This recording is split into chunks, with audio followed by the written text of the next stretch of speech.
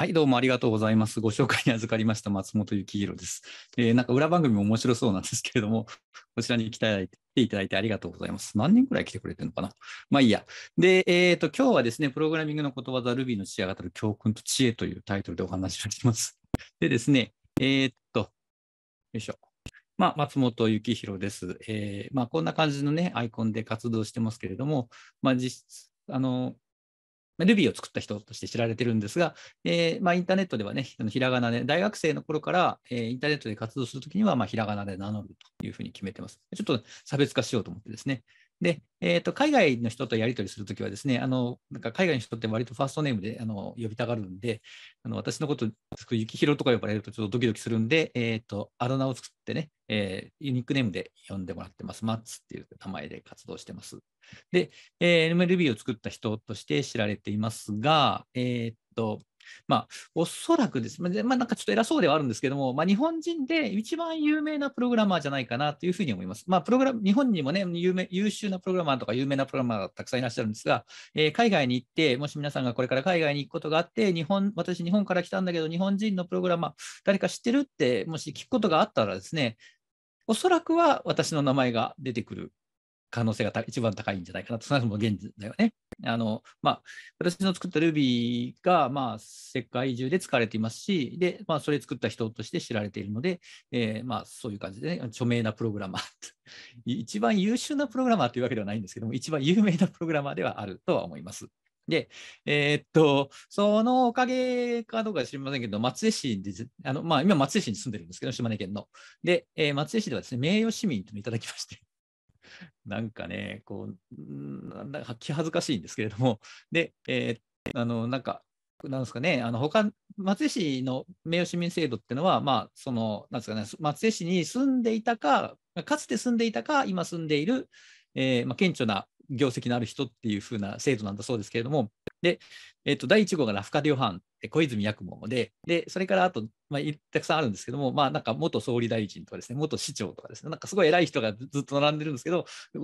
松江市の市役所のね、あの名誉市民のページ見ると、一番最後はプログラマーって書いてあって、なんかガクッと落ちる感じがするんですけども、で、えー、まあ、しょうがないですね。あの、あと、なおですね、あのほとんどの名誉市民の方は、あの年を取ってから名誉市民になられることが多いので、あの生きていらっしゃる方は私だけっていう感じ。もうみんな奇跡に入っておられます。まあ、そうですね。で、えー、本題に入りましょう。自己紹介このぐらいにして。で、えー、ルビーの父が語る教訓と知恵ってな、まあ、なんか偉そうなタイトルなんですけども、で、私がその大学を卒業して、まあ、職業プログラマーとして働き出してか、出したのが、まあ、1990年ということで、もう33、もうすぐ3年 になるんですね。で、えー、プログラミング始めたのも、まあ、中学校3年生の時なので、で、えー、っと、まあ、それから数えると40年以上経ってる、40 44年ぐらい経ってるわけですね。あのそういう意味で言うと、そのまあ、経験だけはすごく長いので、で、まあ、いろんな、こう、まあね、痛い目にも合ってるんですよね。あと、他の人が痛い目に遭うのも見てるわけですね。まあ、そういうとこから学んできたものとか、まあ、その間にね、あのプログラミングしてる間にこう体験から実感した、まあ、よく言われることわざみたいなやつをですね、え、いくつか、ピックアップして、今日は皆さんにご紹介しようかなというふうに思います。はい。で、一番最初のことわざはですね、ことわざじゃないって言われるそうですけども、名前重要ってやつですね。えー、っと、名前重要って名前、あの、こう、ことわざ、ことわざっていうか格言としてですね、いあの言ってるのは多分僕だけのような気がするんですけど、一応私が作ったっていうことになっているような気がします。でですね、え、ー、と、この間、その2月、先月ですけども、あのルフィがですね、30周年記念イベントってなりましてですね、で、えっ、ー、と、今着てる赤いパーカーもその30周年記念イベントのパーカーなんですけども、ルビー、ルビー30って書いてあるんですけども。で、えっ、と、でですね、まあ、正確に言うとですね、Ruby という名前をつけてから30周年なんですね。で、えっ、ー、と、過去の記録をですね、メールのきあのログとかをさあの遡ってみるとですね、で、えっ、と、こう、1993年の2月24日に、私、その会社にいた、会社にまあ働いてまして、で、そのなんかちょっと先輩と一緒にね、そのプログラミング言語の話をしてたんですよ。というのも、その先輩がね、もうすぐ本を書くっていう話になって、で、えーと、作りながら学ぶオブジェクト思考っていう名前、タイトルの本を書くっていうふうな企画があってですね、編集会議も通ったんですよ。先輩って本を書く人だったので、で、えっ、ー、と、アスキーから本が本を出したことも、そのその時点ですでに本を出したこともあるっていう先輩だったので、で、そのオブジェクト指向言語を作りながら、そうこういう仕組みでオブジェクト指向っていうのは動いていますっていうことを学ぶことによって、えー、オブジェクト指向を勉強しようっていう本を書くっていう企画が通ったんですね。で、その時に、じゃあ、そのその本の教材にする言語っていうのをこう作りまし作るましょうって話になって、でもですね、やっぱりその名前がないと、こう、なんか話が進まないので、やっぱ名前大事だよねって言って名前を決めよう。なぜかっていうと、そのソフトウェアには物理的実体がないんですよね。触れない。で、えっと、まあ、コンピューターの中にあるその情報でしかないんですね。で、そういう意味で言うと、その、えっと、概念がそのコンピューターのプログラミングにおいてはですね、概念っていうものがすごい大事なんですが、人間っていうのはですね、概念っていうのに対して、こう名前を付けずに扱うことってほぼ不可能なんですよね。で、えー、っと、なんか、ぼんやりとした言い方をしないといけないので、それに名前を付けないといけない。つまり、その Ruby っていうプログラミング言語っていう概念が生まれた日っていうのは、まあ、プログラミング言語としての概 Ruby っていう概念が生まれた日は、その Ruby っていう名前を付けた日だっていうふうに、えー、思ったので、で、それでですね、えー、っと名前を付けた日を Ruby の誕生日って呼んでるんですよ。えっと、ウィキペディアとかで見ると、その最初のバージョンがリリースされた日が記録されてるんですね。でそれはその Ruby の場合だと、だいぶ後で1995年の12月21日になるんですけど、で、え Ruby はそれを誕生日とは呼ばないで、で、えーと、Ruby という名前を付けた日のことをこう誕生日って呼んでます。それから今年で30周年。で、えーとまあ、名前を付けたのはですね、その名前を付けたその瞬間に Ruby だったんですね。で、Ruby という概念が生まれた。で、その時点では、その Ruby のコードって、まあ、ほぼ1行も書いてなかったんですけど、あのでそのプログラミング言語 Ruby っていう概念がですね、えー、っと、こう、生まれた日がですね、こう、その日だったということですね。で、その時にですね、いくつか名前の候補が上がったんですね、コードネームなので。で、まあ、Ruby ももちろん上がりましたけれども、で、コーラルっていう、これ3号ですね。で、えー、っと、これ何かっていうと、その Perl っていうプログラミング言語があって、パールって真鍮ですよね。ので、だから、あの、こう、宝石の名前を付けようっていう話になって、こう、ルビーとかコーラルとかいう名前が出て、で、まあ結局そのルビーのが短いし、綺麗だし、えー、っと、まあ、石としても美しいし、価値が高いので、こっちにしようっていうふうなことに決まったんですけど、で、えー、っと、その宝石の名前にしようっていう話が出る前にですね、その私、その前に作りかけの言語みたいなのがあって、それ、ティッシュって名前で、あのオブジェクト思考シェルみたいなのね、あの作ろうと思ってたん で、えーと、一歩間違えばですね、その時宝石の名前にしようって話がもし出なかったらですね、えーと、 Tish になったかもしれない。で、えっ、ー、と、ね、あの Tish on Rails とかでですね、 Tish Conference とかやってもですね、ななんかこう、いい いあんまり魅力的に聞こえないですよね。で、そういう意味で言うと、こう本当名前重要じゃなってなな あ、ティッシュペーパーのティッシュってスペル違うんですけど、TIS SUE とかなので、まあ、ちょっと違うのは違うんですけど、だけど、まあ、まあ、ティッシュって名前だったら、まあ、こんなにはならなかったかなというと、まあ、まさにですね、名前が重要で、名前を、いい名前をつけるかどうかによってソフトウェアの未来が決まるってのは結構あるんじゃないかなというふうに思います。で、えっ、ー、と、まあ、名前がわかるっていうのは、まあ、存在を把握するっていうので、えっ、ー、と、プログラミングってさっきも言いましたけど、やっぱり概念の存在なんですよね。で、えっ、ー、と、だから、こう、ま、プログラミングするっていうことは、うん、何かコンピューター上にさせたい仕事があるとか、そういうふうなことを、ま、概念として取り扱わないといけないということは、えー、っとま、名前を、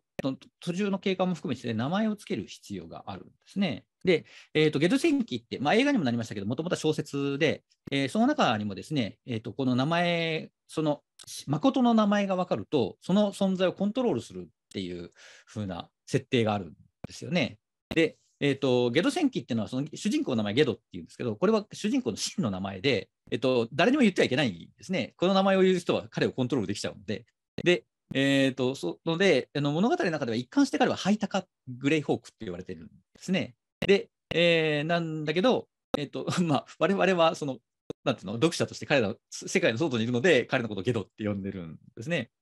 で、えっ、ー、と、何の話だ？あ、そうそうそうそう。で、プログラミングにはですね、あの、プログラミングの中にはいろんなものが存在するんですけども、で、えー、機能とか関数とか変数とかに名前をつけるわけですね。で、えっと、まあ、名前をつけるのって構重要で、まあ、適切な名前がそその機能であるとか関数であるとか、まあ、変数名であるとかに適切な名前をつけることができるっていうことは、それらその、えーとまあ、機能であるとか、関数であるとか変数であるとか、まあ、その概念に対して、十分な理解をしているっていうことだと思うんですね。で、えー、そういう意味で言うと、その適切に名前をつけることができるっていうことは、その概念を理解しているっていうことと、まあ、だいぶ近い。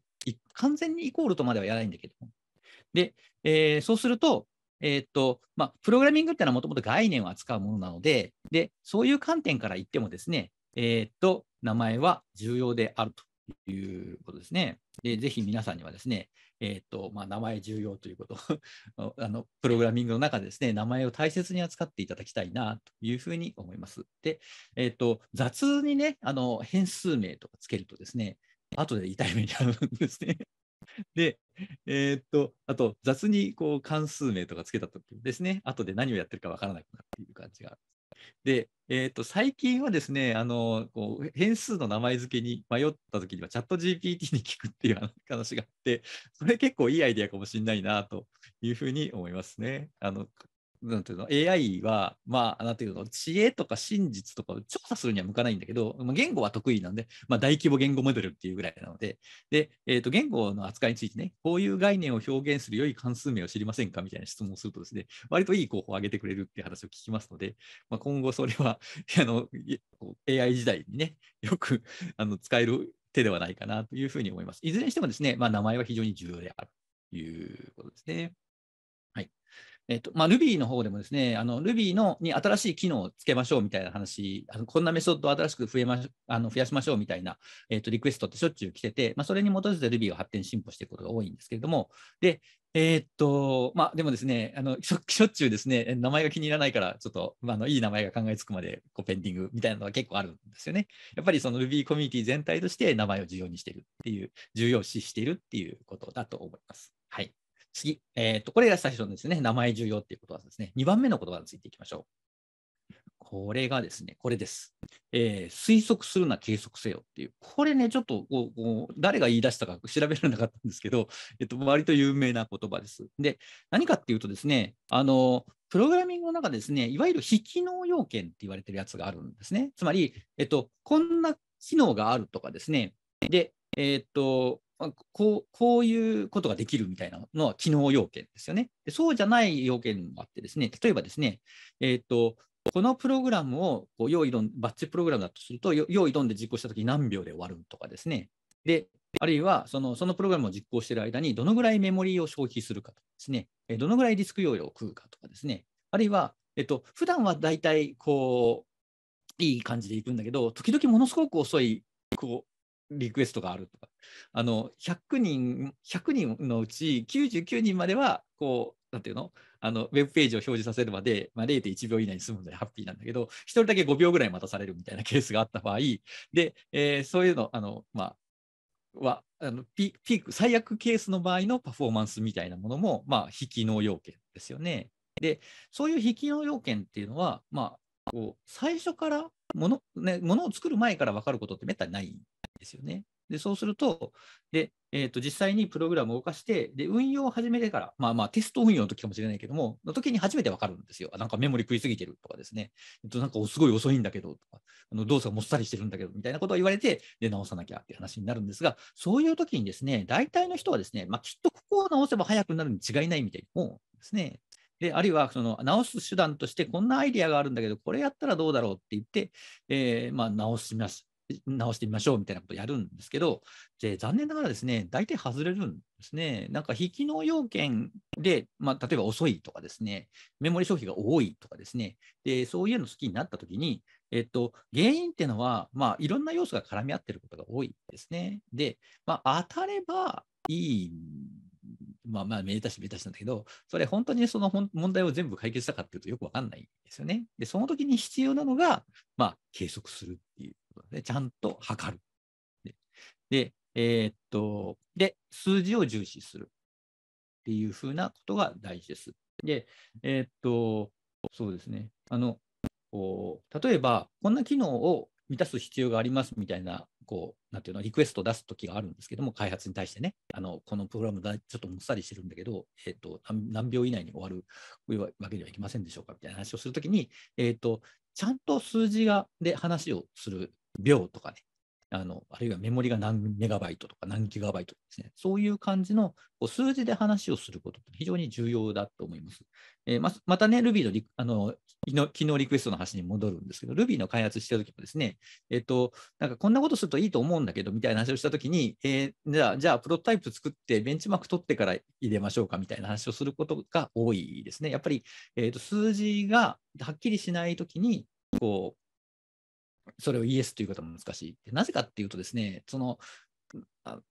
なんていうの、ここのこの場合には速くなるんだけど、別の場合には遅くなるとかいうケースとかあるわけですよね。あるいは、スピードは速くなったんだけど、メモリ消費量が受け入れられないほど大きくなったとかいうケースもあるわけですよね。で、そういう意味で言うと、その全体的な数字みたいなものを見ないと、えー、っと判断はできないんですね。そのためにはどうするかっていうと、やっぱ測らないといけない。それも正しく測らない。で、えーと、よくやっちゃうのが、そのボトルネックでないところをこういじっちゃうっていうですね、あの本当に遅くなってる原因みたいなものはほっといて、その些細なところ、ここのループの数を10回を4回にしましょうみたいな、そういうことをやってしまいがちなんですけども、10を4にしても別にその差が出ることがあんまりなくてですね、で、あと、そのその隣でですね、100万回ループしてたりとかするのでであの手をつけなくちゃいけないのは100万回をあのなんとかすることであって、その10回を 4, 4回に4回にすることではないっていう感じですね。で、あのそのプログラム全体ですね、あの均質に重要ではないので、こう一番こう重要なところだけこういじるっていうことをできるやりたいっていう、そのためにはですね、測らないといけないんですね。まあ、測るツールいろいろあるんですけど、まあ、プロファイラーであるとか、あるいはそのベンチマークで測るとかですね、いろいろあるので、まあ、そういうこうツールの使い方を学んでですね、正しく測ることが必要です。で、正しく測るときが必要なんですけども、まあ、気をつけなくちゃいけないのは、その人工的なベンチマークを作ってしまうことなんですよね。で、えっと、まあ、なんていうかな、まあ、まあ、絶対ダメとまでは言わないんだけど、まあ、ルビーもやってるし、Ruby がね、あのバージョンあの3.0で、えっと、前のバージョンに比べて3倍速くなりましたって言ったときには、やっぱり特定の人工的なベンチマークで3倍速くなってて、えっと、Rails アプリケーションが3倍速くなったわけではないので、まあ、そういうことをやるのはや、やることはあるんだけど、なんだけど、えっと、まあだって本当に問題を解決したいときにはあ、私が今使っているリアルワールドのアプリケーションでどのぐらい遅くて、どのぐらい改善するかっていうことを測らない。だから人工的なベンチマークというのはだいぶ危険。で、リアルワールドに近いもので測ることが、まあ、理想ですということでで、同じ理由なんだけども、マイクロベンチマークみたいなものも、まあ、こう、まあ、危険、同じ危険があるわけですね。マイマイクロベンチマークっていうのは、なんていうの、あの、ちっちゃい、ちっちゃい規模のプログラムで、えー、回すっていう。で、それがですね、そのさっきのリアルワールドアプリケーションの何かの性質を反映してればいいんだけど、まあ、なんか結局ね、ループ100万回回すだけみたいな ベンチマーク作りがちなので、でそうすると、なんかループ速度とか、あのあの関数呼び出しとか、そこだけ払ってるっていう話になっちゃうので、でそれが本当にこうリアルワールドアプリケーションについて重要なのかっていうことも含めてですね、考えないといけない。で気をつけないと、その数字を出しましたみたいなこと言っても、まあ、その数字は、まあ、あの嘘だったり、あるいは、まあ、統計の使い方が間違ってて、えー、なんていうの、アプリケーションの開発全体を違う方向に、えドライブしていく可能性さえあるということですね。はい。ので、えー、皆さんにはですね、えっとエンまあ、エンジニアの皆さんはですね、その誠実、その問題に対して誠実にあの、まあ、向き合っていただきたいなというふうに思います。えー、これが、えーと、計測せよっていうですね。はい。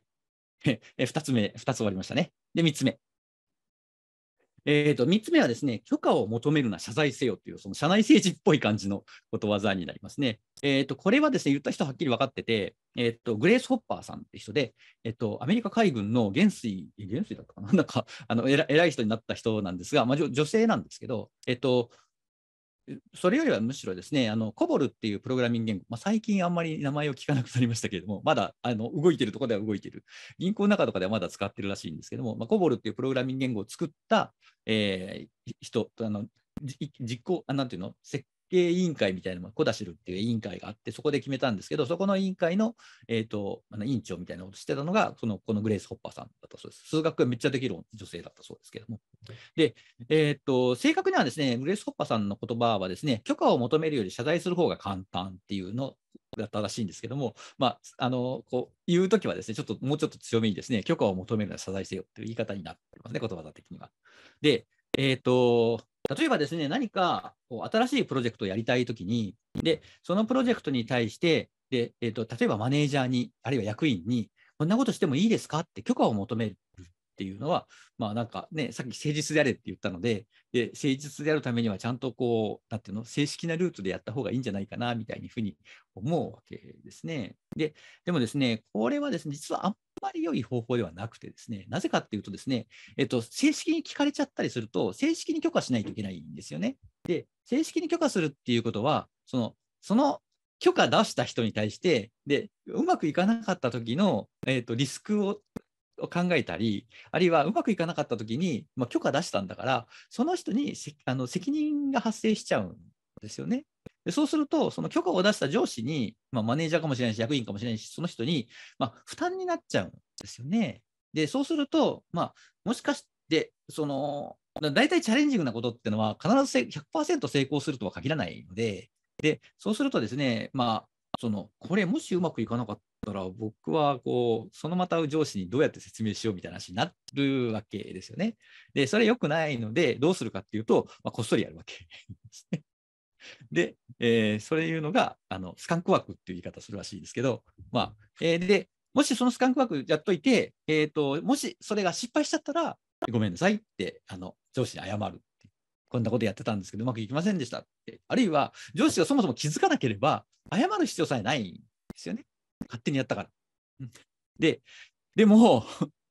もしそのプロジェクトが成功したら、で、えー、っと、ありがとうございますって、あのおめこぼしをいただいたおかげで、えー、こうこんな大成功しましたって言ったら、上司も、いや、わしがあの 見逃してやったからで、えー、上司の顔も立つっていうですね。で、え、ー、と、そうですね、あの時見逃していただいたプロジェクトプロジェクトですってお礼に行くっていう感じですね。え、ー、と、実際ですね、Ruby を作った時もそんな感じで、で、えっ、と、Ruby 作り始めた1993年って言いましたけど、これってね、あの、バブルが、バブル経済が崩壊して、すっごい不景気だった時なんですよ。で、えっ、と、私がですね、あの、こう、社内システムあの自分の会社のね、社員が使うためのシステムを作るところに配属されて作ってたんですけど、で景気が悪くなったので、あの社内システムって売り上げが立たないんですよね。で、えーと、外貨を稼いでこないと、景気が悪いのに会社が立ち行かないっていう話になって、プロジェクトキャンセルになって、あのメンバーはちりぢりになったんですね。で、えー、なんですけど、私自身はそのプロジェクトの、まあ、すでに作ったソフトウェアがあるので、でえー、っとのそのメンテナンス要員として残されたんですね。あの40人ぐらいいたメンバーの中で、2人だけメンテナンス要員で残って、そのうちの1人が私だったんですけど、まあ、どっちかというと窓際ですよね。で、えー、と新規開発禁止されているので、でえーと、新しいソフトは作れないし、直せないんですよ。で、何するかっていうと、たまにその電話かかってきて、社内から。で、あとお、お宅の作ったソフトウェアがうまく動かないんだけどって言われて、ああ、そうですかって、じゃあ、あの PC 再起動してくださいって以上終わりっていうのが、あの2日か3日に1回ぐらい電話かかってくるって、それだけ 本当やることなくてですね、で、かつですね、上司もですね、見てないんですね。つまり、その上司もお金稼ぐところのマネージャーをしてて、こっちはその兼任だったので、何も監視してないんですよね。で、パソコンは取り上げられなかったので、目の前にコンピューターはあるんですよ。で、えー、そうするとですね、何かっていうと、まあ、スカンクワークの絶好のチャンスなわけですよね。で、えー、で、そのさっき言った、あの、まあ、先輩とね、こう、副業っていうかね、あの本を執筆するみたいな話をしてて、で、その、そのきっかけで、えー、っと、まあ、ルビーを作り始めたんですね。あ、ゆああの時言うの忘れてたけど、その本の企画はですね、あっという間にボツになってですね、あのこう本は出なかったんですね。で、えー、なんだけど、えー、っと、まあ、せっかくね、作り始めたんで、なんか作るかって言って 作る、で、ずっと作ってたんですよ。で、えー、まあ、それは結局ね、私自身はそのプログラミングが好きだし、で、えっと、まあ、時間があったらプログラミングするようなタイプだし、あと、プログラミングも大好きだったので、まあ、自分のプログラミングでデザインして作るっていうのは、まあ、まあ、なんか、一つ自分の、ね、夢みたいなもんだったので、まあ、それをやるかって言って継続したんだけど、まあ、こんな風には、ね、なるとは全然思ってはいなかったんですね。で、えー、その後やっぱ会社がいよいよやばくなったので、あのその会社辞めたんですけど、辞める前にですね、やっぱりちょっと誠実でやれって言われたあの思ってたので、上司にですね、言いに行って、すいません、あの、マネージャー、こんなことをかけてこっそりやってたんですけどって言ったらですね、えーと、上司がですね、えーと、見なかったことにするから持っていけって言われてですね、で、それでその次の会社にそのソースコードを持ってって、で、えーと、次の会社にいるときに Ruby をリリースしたんですけれども、で、えもしですね、えーと、上司が見逃してくれなかったらですね、えー、まあ、今の Ruby はもしかしたらなかったかもしれないっていうふうに思ってですね、えー、と上司のところに、えもうもうにに30年ぐらい会ってないですけど、えっと、30年近く会ってないですけど、えっと、もし会う機会があればですね、まあ、俺を言わない、あの時助けていただいたルビーがこんなになりましたっていうふうに、俺言わないといけないなというふうに思います。もうだいぶ年上だったんで、もうそろそろ、もうもうもう退職してらっしゃると思うんですけど、はい。まあ、世の中ね、未来のことは予想できないですね。はい。はい、これが3番目のことわざになります。で、えっ、と、あれ一体いくつ用意したんだっけ？まあいいや。はい。でですね、次の言葉でいきましょうね。4番目ですね。はい。で4番目はですね、えっ、と、これもことわざなさないって言われたんですけども、あの分割統治っていうふうな、えっ、と言葉になります。で、えっ、と、英語だとデバイダンドコンカーっていう、あの分割してこう征服せよっていう感じのことなんですけれども、で、えー、まあ、こう大きな問題もですね、まあ、分割すればなんとかなるっていうふうなやつですね。えー、これ最近見た漫画なんですけれども、えー、っと、まあね、巨大なタスクにこう、巨大タスクが存在して、まあ、なんか圧倒されそうな気持ちになったときには、えー、タスクを取り上げてですね、えー、細かく分解すると、えー、細かく分解された、えタスクは、え無視し無視しやすいので、えっとまあ、タスクは片付かなくても気分は楽になるっていうこう漫画なんですけれども、で、まあ、実際そういうところもあるんですよね。で、えっ、ー、と、こう、なんか非常に巨大なことをしろって言われると、こう大変なんだけど、手に負える範囲に分割して、一つ一つこう話をしていくと、こうこう問題を解決することができるっていうのは、まあ、どこにおいても応用可能な原則だと思いますね。えっ、ー、と、すでに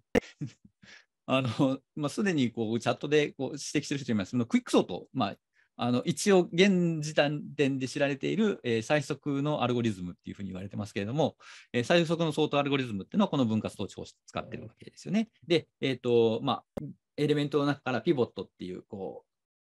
あの1つの要素を選んで、その要素より大きいか小さいかで2つに分割して、それをまた分割していって、である程度小さくなったら、その、まあ、こう適当な方法でソートして、で、またそれをマージしていくっていう感じのやり方をするのが、えっ、ー、と、クイックソートですね。はい。で、えっ、と、まあ、そういうふうな形で、皆さんが例えば仕事でソフトウェアを開発しろって言われたときに、えー、なんだろう、えっ、と、まあ、こうファイナルファンタジーや モンスターハンターと同じぐらいのこう規模のゲームを作りなさいっていうタスクがもし皆さんに降ってきたとしたら、まあ、だいぶ圧倒されるわけですよね。で、えっと、そのむ私が子供の時はね、雑誌とかにこうゲームのソースコードが載ってて、100行とかで、パソコンベーシックでポチポチ打って、それで満足みたいな感じです。あの非常に原始的でよかったんですけども、現代におけるゲームっていうのはですね、まあ、作るのに100億かかりますみたいな感じになって、まあ、映画作るのと変わらんみたいな感じになってるわけなんですけれども、で、えー、っと、そういうような時にですね、まあそういうタスクをもらった時にだいぶ圧倒されるわけですよね。まあもちろん一人ではできないし。で、まあ私の場合もですね、例えば世界的に使われるようなプログラミング言語を作るっていうふうなタスクをやろうと思ったらですね、で、まあ、だいぶ圧倒されて、まあ、それはとても無理だっていうふうに思うわけですね。なんだけど、じゃあ実際問題は私が最初から世界的なプログラミング言語を作って、こう、なんかプログラミング言語だけで食べていけるようになろうみたいな、こう、現在の状態を夢に見ながら活動していたかっていうと、あんまりそんな感じではないんですよね。で、で、えーと、例えばですね、あの文法、まあ、なんていうのかな、あのまあ、訳っていうこう文法を定義する言語みたいなのがあってですね、でそれを使って、その Ruby っていう言語はどんな文法になるでしょうかっていうのを、こう、訳記述だけでかを作って考えるって。これ、訳でその記述をコンパイルすると、なんか文法チェックができるんですね。あのシンタックスエラーだけ検出できるっていう。で、それで、あこうこう僕はこう Ruby っていう言語、こういうプログラムを書けるといいなと思ったんだけど、そのファイルをこの文法チェッカーにかけると、シンタックスエラーが出なかったので、えっと、この文法は合ってるに違いないとかですね。あるいはこれは、ま、間違った Ruby のプログラムだと思うんだけどって言って、その文法チェックにかけるとですね、シンタクセラーって言われてですね、あ、そうそうそう、文法ってこういうもんだよねっていうふうにわかるっていう。まあ、そこから始めてですね、で、えー、何年もかけてですね、少しずつ作ってきたんですね。で、それもですね、例えば、えー、今日はこの関数を完成させようとかですね、あるいは、その、このバグ見つけちゃったんで、今日はこのバグを直そうとかですね、そういうふうなことを一つずつやってきたっていうところがあるわけですよ。で、あの、まあ、すごく前に読んだ、その、マラソンランナーのね、こう、インタビューをこう見ていると、その42.195キロっていう距離、まあ、私、そんな距離走ったこともないんで、想像もつかないんですけど、まあ、最初からですね、42.195キロをこう、なんか、2時間何十分で走ろうみたいなことを考えると、まあ、大体の人は圧倒されるんですよね。なんだけど、えー、そのマラソンランナーが言ったのは、えもうしんもう走ってすごいしんどいんだけど、でそのしんどい中でも、その向こうの角にある100メートル先の電柱まではこう諦めて走ろうとかですね、そこの電柱過ぎたら、そその次の電柱、200メートル先の電柱まで走ろうとかですね、そういうふうにして、こう、進んでいったっていうふうに、そしたら、その最後まで、こう、ゴールまでこう走り続けることができた。もう100メートル走ろう。もう200メートル走ろうっていうふうにして、こう繰り返していくことによって42.195キロね、あの、まあ、人によっては、こう、なんていうの、こうまあ、とてもとても限界を超えないといけないような距離でも走れるっていうふうなね、ことをあのこうインタビューで読んだことがあります。はい、で、えー、っと、まあ、だから分割統治っていうのは基本的に、えー、と相互に依存しない小さな部分に分割して、で、一つずつ片付けるっていうのが、まあ、基本的な戦略なんですよね。で、えー、と相互に依存しない小さな部品にバラバラにバラバラにした後であれば、その、えっ、と、個別の部分をですね、他の人に、じゃあ、ここやっといてくれない？あのインプットはこれでアウトプットはこれだからっていうふうなことをこう出すことができるんですね。で、そのためにはですね、繰り返しになりますけれども、あの相互に、えー、依存する関係をその最小にすることが必要なんですね。で、えっと、なんかものすごい複雑なネットワークが存在しているときに、適当なこう状態でこう、なんていうの、バラバラにすると、あのそれぞれのモジュールからよそに対するああのこう関係がですね、こう非常に複雑になってしまうので、結局その、えっと、じゃあ、この機能を改あの手を入れるためには、えっと、あのチームとこのチームとそのチームと間とミーティングしないといけないみたいな話になると、あの分割した意味がないですよね。で、えー、そうじゃなくて、そうじゃなくて、この相互の依存を関係しできるだけそのチームだけでの完結して仕事ができるような状態にするのが、まあ、あの、なんですかね、あの分割統治のえー、基本的な戦略になるというふうに思います。で、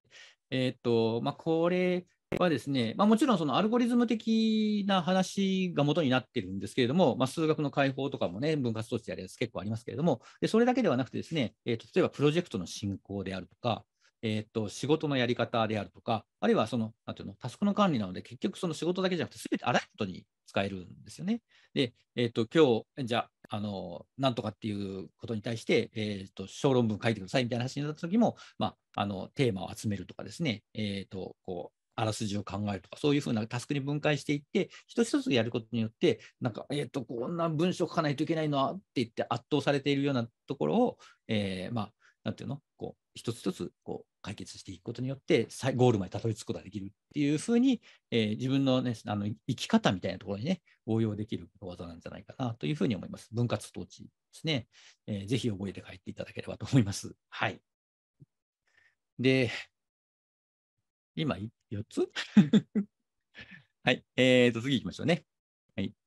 えっ、ー、と、簡潔さは力なりっていう、えっ、ー、と、作品とネスイズパワーっていうやつですね。えっ、ー、と、これはですね、えこれもこう言った人はっきり分かってですね、えっ、と、ポール・グレアムさんって人が言いました。えっ、と、これはですね、昔、えっ、と、バイアウェブっていう名前の、えまあ、ショッピングサイトの、えっとバックエンドまあ、今で言うとショッピファイみたいなやつですね あのを作った人で、で、それをですね、ヤフーストア、アメリカのヤフーストアに売却して、で、えー、っと、大金持ちになったので、で、そのお金を使ってですね、えっと、Y コンビネーターっていう、こう、なんていうの、超アーリーステージの、えー、と、なんていうの、ベンチャーキャピタルみたいなお金を出す人になってますね。で、ここがお金を出したところとして、まあ、たくさんのところがですね、えー、っと、こう、軌道に乗ってるわけなんですけども、例えば、あの Dropbox とかね、えー、っと、Y コンビネーター卒業生ですし、で、えー、まあ、そういう、その、えっと、すごい若い人に、で、えっと、アイディアを持ってこさせて、で、このこんなアイディアを思いつくお前に投資しようみたいな感じで応援するあるいはあとメンタリングって言ってあの指導するみたいなことをしているところですね。えっと、プログラム自身は Y コンビネーターはすでに引退しているらしいんですけれども、で、えっと、まあ、Y コミュニケーター組織はですね、いろんな人を助けるようになってます。で、この人はですね、えっ、ー、と、もともとリスプハッカーで、で、バイオワブもリスプで書いたっていう、なんかちょっとちょっと変わった人なんですけれども、で、えー、っと、その人がこう言ってるのがちょっと戻って、その、この簡潔さは力なりっていう、えまあ、エッセイ書いてるんですけど、何かっていうとですね、えー、っと、まず、その人間の能力にはそもそも限界があるんですね。あ、そうそう。えっと、誰かチャットで書いてくれましたけど、ハッカーと画家っていう本を書いてる人ですね。で、え、っと、人間の能力には限界があって、で、えー、まあ、あんまりね、こう、難しいことを把握できないですよね。で、えっ、と、限界があるのは、例えば、えっと、記憶力に限界があって、でなんかよく人間忘れるんですよね。あのあんまり私も私もだいぶ忘れっぽいんで、しょっちゅう怒られるんですけど、なんかこう、あのこう約束してるのを忘れてね、あのダブルブッキングしちゃったみたいな。もう一応気をつけてはいるんですけど、まあ、たまにやっちゃうんですよね。記憶力に限界があるってですね。あと、あとですね、子供とかに、お父さんその話、もう10度目ぐらいだよみたいなこと言われたりするんですけれども、まあ、そそんな感じですね。あと、えっ、ー、と、それに関係してですね、まあ、複雑さを把握する能力もあのあんまり強くないんですよね。で、えっと、こうシステムやこう関わってるものが多くなって、すごく複雑になってしまったりすると、そのまあ、一度に考慮しなくちゃいけない要素がすごく増えてしまって、でそうすると、こう、まあ、なんかちょちょっと正しい選択をすることができない、正しい判断をすることができないっていう、まあ、それは人間能力の限界なんで、まあ、ある程度しょうがない、生物学的限界なので、まあ、しょうがないっちゃしょうがないんですけども、で、まあ、さっきね、あの言ったと分割統治みたいなものも、まあ、少なくとも人間に対して適用する場合には、えー、っと、まあ、その、なんていうの、複雑さを扱うことができない限界みたいなものに対してですね、えー、こう細かくすることによって、一度にこう考えなくちゃいけないことを減らすっていう側面、だからうまくいくっていう側面がね、ある。ですよね。で、結局ですね、まあ、複雑さを制御することが必要なんですね。我々の、えっと、まあ、人間としてね、仕事をするときに。でですね、まあ、残念ながらですね、このプログラミングっていう世界はですね、ものすごく複雑さになりがちなんですよね。で何かっていうと、例えば、物理的実体がある存在って、あの建築物でもいいんですけど、あのまあ、制約があるんですよね。あんまりなんていうの、こう、鉛筆みたいに細いビル建てると地震で崩れるとかですね。で、えっ、と、こう、物理、物理的な限界は超えられないみたいなのがあって、すごい制約があるんですよね。で、そうすると、ある程度以上複雑だったり、ある程度以上、なんていうの、あの、こう脆弱な構造を作ってしまうと、えー、まあ、その、たた、立たないっていうか、成立できないですよね。その物理法則っていうのがあるので、それは変えられないので。今ですね、えっ、と、その、まあ、プログラミングの領域にはですね、そういう物理法則の限界っていうのがですね、あまあ、まあ、厳密に言うとありますよ。あの、ハードディスクの容量の限界とかね。あの、処理時間、人間がその処理時間に耐えられないから、こうあのパフォーマンスにと人間の忍耐力の限界とかね、まあ、そういうこう限界はあるのはあるんだけど、ただですね、あの構造の複雑さに対する限界っていうのは非常に緩いんですよね。で、えっ、ー、と、現代の我々のコンピューターには、まあ、例えばテラバイト単位のこうであの、ね、記憶容量があったりするんですけど、えっ、ー、と、GPT-3 がのモデルのデータって850ギガバイトぐらいなんですよね。そうするとですね、なんか、なんていうの？あの人類が過去かつかつかつてこう書いた文章をこうこうの構造を認識してするようなこう超複雑な情報で、その情報を使うとコンピューターが、まあ、人間が喋ってるのとか同じぐらいのこう喋れるぐらいの知能が持てるだけのデータっていうのが、えっと、皆さんのお手元のハードディスクに収まる サイズなんですよね。で、それを考えるとですね、えっと、こう、ソフトウェアもですね、あの皆さんが作ってるソフトウェアも、まあ、チームでみんなで寄ってたかって作ってたりとかすると、こう人間の理解を超える複雑さになりがちなんですよね。で、そういう複雑さになってしまうとですね、なんですかね、まあ、どうにもならないわけですよね。で、えっ、ー、と、それもですね、こう上手に作らないと、ジェンガみたいになるわけですよ。あの、物理的限界のないジェンガってもうなんかやってられない感じがしますけど、一本抜くと全部崩れるかもしれないので、手がつけられないみたいなことが起きるわけですね。まあ、やってられないわけですよ。どうにもこうにもそのこの複雑さを制御しないといけないんですね。で、その逆に言うと、その複雑さを制御すると、人間がの生産性が上がるんですね。で、えっ、ー、と、こう人類の、まあ、プログラミングの歴史の中で、最初のプログラミングができたのは1954年っていうふうに言われてますから、えっと、もうすぐ70年になるんですけど、来年で70年になるんですけど、フォートランっていう言語ですね。で、えーと、そこから先、まあ、最初ね、フォートランの頃は1個しかプログラミング言語はなかったんですけれども、でそこから先、今はですね、まあ、うん今、いくつプログラミング言語があるか誰も数えたことがないんで分かんないんですけど、まあ、一説には数万とか数十万とかいうふうに言われてるんですね。で、えー、その間、そのまあ、プログラミング言語って昔の言語に比べて少しずつ進化してきてるわけなんですけども、で、えー、その進化の系統の中で、えー、っと、まあ、ポール・グレアムが言うにはですけど、えっと、そのプログラムを、つまりその人間が表現すべき内容が、えー、簡潔になるように進化してきたっていうふうに言ってるんですね。で、その結果、まあ、新しめのプログラミング言語を使うことによって、えー、ソフトウェアのコード、プログラムはどんどん簡潔になっているし、でこれからもますます簡潔になるべきだっていうふうに、えー、いうのがそのポール・グレームの主張なんですね。で、それはその本当にそうだなというふうに思います。で、えーと、例えば同じことをするにも、アセンブラで書くのと、まあ、C 言語で書くのと、まあ、Ruby とか Python とかで書くのとだと、まあ、だいぶ行数が違うわけですよね。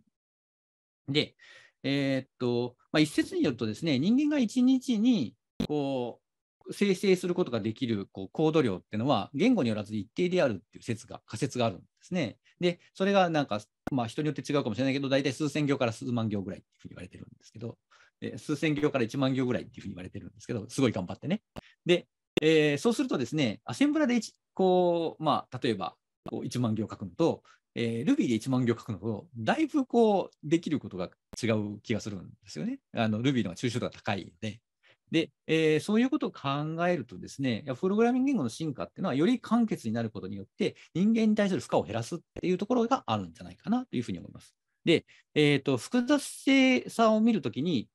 自分がね、ソフトウェア開発してるときに、そのソフトウェアが、まあ、必要以上に、まあ、本質的に問題は複雑なので、こう複雑になりがちなんですけど、ただ必要以上に複雑ではないか、もっと簡潔に書けるんじゃないかっていうふうにもし感じたとするならば、その複雑さっていうのは間違った方向性はないか、あるいはそれを減らす方向はないか、それを減らすことによって正しい未来をもたらすのではないかっていうふうなことについてですね、えー、考えるタイミングではないかなというふうに思うんですね。まあ、実際、その、なんていうの、えっと、こう、まあ、Ruby とかですね、あるいは、まあ、Ruby on Rails とかね、そういうのが登場してくる前のソフトウェアに比べて、後のソフトウェアの方が、えっと、まあ、Ruby や Ruby on Rails の影響もあってですね、だいぶ、その、例えば Web アプリケーションの開発が簡潔になっている、簡単になっているというふうに思うんですね。でそれっていうのは、その、えっと、まあ、プログラミング言語やフレームワークへの進化によってもたらされた簡潔さであり、それは望むあの生産性につながって、望むべき進化だというふうに思うんですね。ただし、えーとまあ、どこでもそうなんですけども、正しいっていうのは、その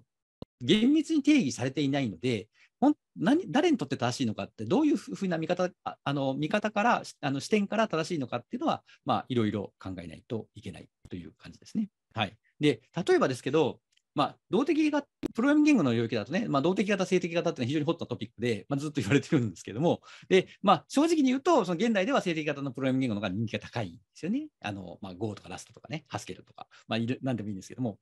ただですね、えっ、ー、と、さっきまで言ってきた、その簡潔さっていう観点から言うと、まあ、その型宣言がそもそもない時点で、えー、動的型の方が簡潔なんですよね。で、えー、しかもですね、あの、こう、型、型便利ですよ。あの型 性的が性的型がこういらないいらないとか不要だとかそういうことを言ってるつもりはないんだけど、その、えー、性的型の記述っていうのはですね、必要以上に複雑になりがちなんですよね。えっと、何かっていうと、えっと、最近 JavaScript でに関してでの性的あ、JavaScript じゃない、TypeScript の、TypeScript の性的型についてで出た論文を見てるとですね、えっ、とですね、その TypeScript の型の部分は、チューリング完全であるっていうふうにな論文が出たんですよ。どういうことかっていうと、えっ、ー、と、その、型宣言の部分だけで任意のアルゴリズムが記述できるっていう ことなんですね。で、えっ、ー、と、その例題があって、あの、タイプスクリプトの型だけで、えっ、ー、と、3目並べ、ティクタクトゥの、えっとアルゴリズムをかけるっていうふうに例があって、えっと、あの、VS コードのね、えっと、型保管があるじゃないですか。あれで、えっ、と、こう、型の部分だけ書き換えると、三目並べが、三目並べが解けちゃうっていう、こう、あのタブを押すたびに三目、あの、ポップアップで、こう、三目並べの答えが出るっていうプログラムを書いててですね、それはですね、うーんとですね、うーんとですね、まあ、あの、型、いや、性的方便利ですよ。念のため言っとくけど。なんだけど、それはなんか必要な複雑性なんだろうかって悩む時あるんですよね。人間に見せていい複雑性なんだろうかっていう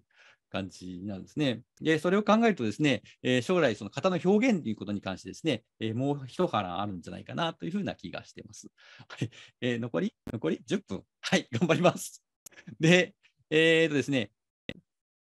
次行きましょう。えー、done is better than perfect っていうやつですね。これ、完璧を目指すよりまず完了させろっていう感じですけども、これ、フェイスブックですね。で、えー、と、まあ、動かないソフトウェアとかですね、まあ、あの、こう、発表しただけで実際に、あの、なんていうの、手に入らないソースコードのことを、ベーパーウェアって、蒸気ウェアっていうんですけれども、で、まあ、でもソフトウェアって動かないと試さないんですよね。で、えーと、実際に人間っていうのはその動かしてみないと、その自分、このソフトウェア自分の求めるものか判断できないですよね。で、僕、私ソフトウェア開発者としてですね、それ痛感してるはずなんですけど、ある時すごい忙しかったので、後輩にソフトウェア作ってもらったんですよ。これこれこういうことするソフトウェアを作ってって言ってお願いしたんですね。で、そして、まあ、あの、まあ、1週間かな、ある程度経ってから、できましたって言って後輩持ってきたんですよね。そしたら僕は何て言ったと思いますか？こう、ちょっと違うんだよなって言ったんですね。あのプログラマーが言われたくない言葉ナンバーワンを自分が言っちゃったっていうのがあってですね、でえ、っと、あのまあ、仕様があるはずで、実際にね、これこれこういうソフトウェアだって、こういうソフトウェアが欲しいっていうふうに言ったんですよ。なんだけど、人間はね、使用しでは分からないんですね。まあ、イマジネーションの限界があるので。ので、えーとまあ、とりあえず動かすソフトウェアは非常に大事で、改善は後からできる。まあ、特に機能要件、さっき言ったやつね、まあ、パフォーマンスであるとかメモリ消費量とかね、そういうものについては、まあ、全然わからないんですね、作ってみないとね。それで、とりあえず動くものを作りなさいっていうふうな感じになります。はい。はい、えー、っとですね、あ 最後の言葉はですね、採用が馬。あの、まあ、有名な中国のことわざですけども、まあ、採用ってのはおじ、採っていう村に住んでるおじいさんって意味らしいですね。で、えー、採用のおじいさん、馬飼ってたんですけど、馬が逃げちゃったんですね。で、周りの人は何て言うかっていうと、まあ、馬逃げてかわいそうねって、財産失って残念ねっていうふうに言ったんですけど、その馬はですね、えっと、何日か後にですね、いい馬を連れて、連れて帰ってきたんですね。馬増えたんですよ。そうすると、周りの人は、あ、馬来て、あ、いい馬が来てよかったねって、あの素晴らしいね、運がいいねっていうふうに言うんですね。そしたら、そのいい馬に乗ってたら、息子がですね、その馬に振り落とされちゃって、あの落馬して骨折しちゃったんですね。で、働き手が1人減っちゃったんですよ。そうすると、周りの人は、あ馬から落ちて残念ね、骨が折れて残念ね、運が悪かったねって言うんですね。でもそ、そのしばらく経ったら戦争が起きて、で、その息子はね、骨が折れているので、あの兵隊に取られなかったので生き延びたんですよね。で、えー、で、えーとまあ、結局、こう働き手を奪われなくてね、あので村の他の人たちは兵団取られて死んでしまったのに、息子は生き延びたっていう話があるんですけども、つまりですね、まあ、短期的には判断できないんですね。で、あとまあ、目の前にですね、なんか悪いことが仮にあったとしてもですね、でそれが、とまあ、長期的に見ると違うことになるかもしれない。というかですね、むしろですね、えーと、その悪いと思っていたことをあのまあ、長期的にいいことにする努力をするのはですね、まあ、自分自身ではないかなというふうに思うんですね。で、えっ、と、まあ、なんか、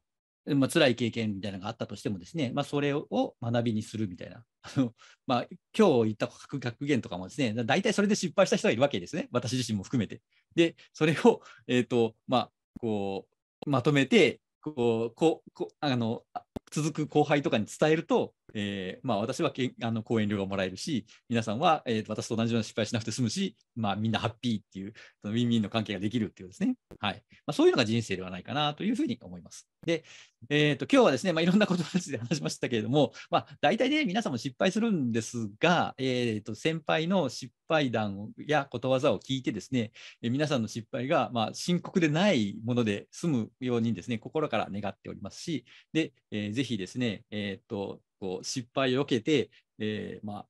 人生の、なんていうかね、なん大成功を勝ち得ていただきたいなというふうに思います。はい。えー、今日、あまあ、一番大事なのは、ね、名前重要だと思いますけれども、まあ、それ以外もいろいろ話をしたので、えー、ぜひ覚えて帰っていただければというふうに思います。はい。ありがとうございます。1分20秒前に終わりましたねはい、松さん、ありがとうございました。先ほどのご連絡、残り10分でございますので、まだあと5分程度お時間ありますが。はい、5分あるの？えっ、ー、と、じゃあ質問を受けようか。はい、ぜひぜひお願いいたします。はい、じゃあ、あの、コメントで、コメントすぐ流れそうだけど、えっ、ー、と、コメントで何か質問してもらったらですね、ピックアップしてなんかパチパチに埋もれていく質問が消えそうだけど、まあ、あと5分だそうです。あ、本当だ。あれ？あ、本当だ。僕、時計の見方間違えてた。子供か。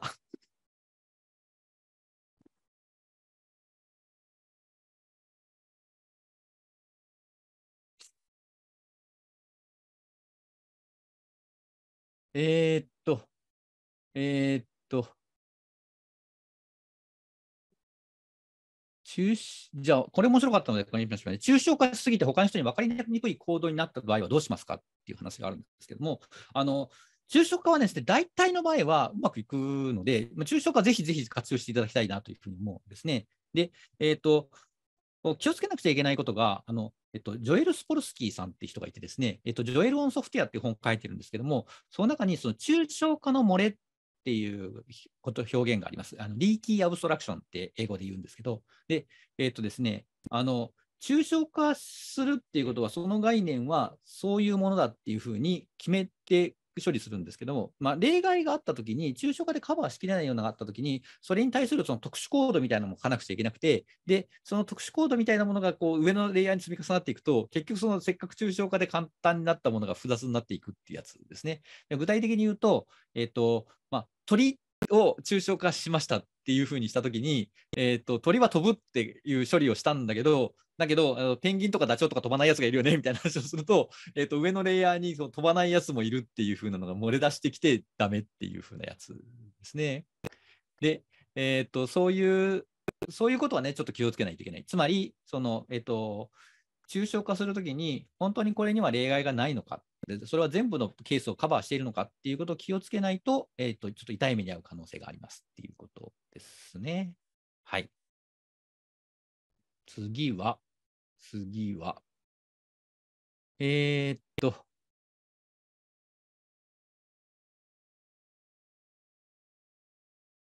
えー、っと、あの青木さんって人から、チームメンバーとして欲しい人材の特徴は何ですかっていうことなんですけども、でえーとですね、私と一緒に働きたいときに、えー、と期待したいあの特質としては、えーと、教えなくても自分で調べられる人と働きたいです。で、これが1点ね。つまり、その、えっと、これはね、こういうことをすることだよっていちいち教えなくても、あるいはあの教わってないからできませんって断るんではなくて、えー、自分で、えーと、調べて、自分で分かるし、で調べてももしも分からないこと当然あると思うので、それはまあ聞いてきくれたらいいと思うんだけど、えっ、ー、と、なんていうの、お膳事前にお膳立てをして、これこれを学んだましょう、これこういうふうにしましょうみたいなことを全部教えてあげないと、働けない人はちょっと、ちょっと困るなっていう感じなので、そうそうじゃない人、自分で学んで、えっ、ー、と、自分でできることは自分でする人と働きたいですね。これが1点。で、もう一つはですね、もうものすごく優秀な人でもですね、えっ、ー、と、なんていうのかな、あの、こうチームで働く時に関して言うと、その、えっと、なんていうの、人間関係をうまくやれない人がいるんですよね。あの自分より劣った人を罵倒するとですね、あの英語でエクセレントジャークって、ジャークって嫌なやつって意味ですけど、エクセレントジャークっていうらしいですけど、まあ、そういう人もちょっと嫌だなっていうふうに思います、チームで働くときはね。で、えーと、結果だけ使うんだったら、その人がジャークかどうかっていうのは全然全然関係ないので、まあまあ、結果だけもらえればいいんですけど、まあ、チームとして一緒に働くのであれば、えー、っと全部全部お膳立てしないと働けない人は困るなっていうのと、えー、っと人間関係で、えー、っと他人を罵倒するようなタイプの人は困るなっていう感じではありますね。それ以外だったと、まあ、あとはまあできれば優秀であってほしいけど、まあ、あのそれぐらいですかね。はい。はい、え、っと、あと2分ぐらいあるね。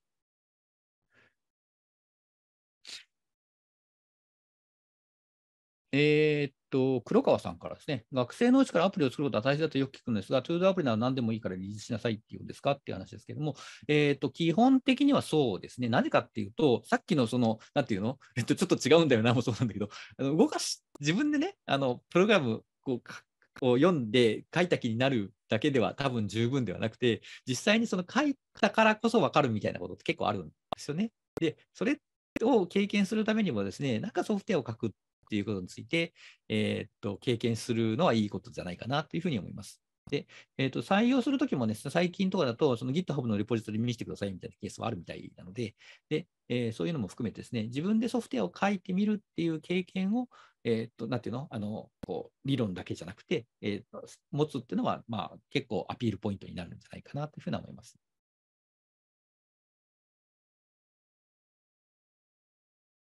はい。えーと、あとは、プロ、これは、まあいいや。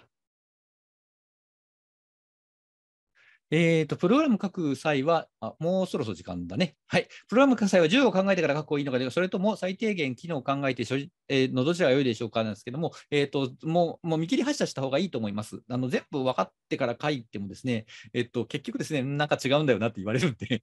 考えても多分無駄でんなんですよね。あの、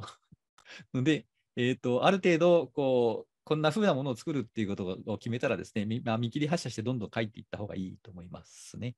はい。あ、まあ、いっぱい質問してくれてありがとうございます。えーっとですね。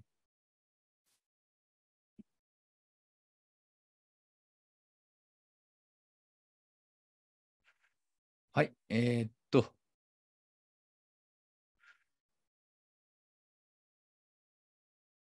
あとは、もう一つ新しい言語を作る人はどのような名前をつけますかっていうふうな質問が来ましたけれども、えっ、と、Ruby の後に一つ、二つ言語に取り掛かってたことと、取り掛かったことがあってですね、一つは Stream っていう名前の言語です。えっと、Stream ってあの、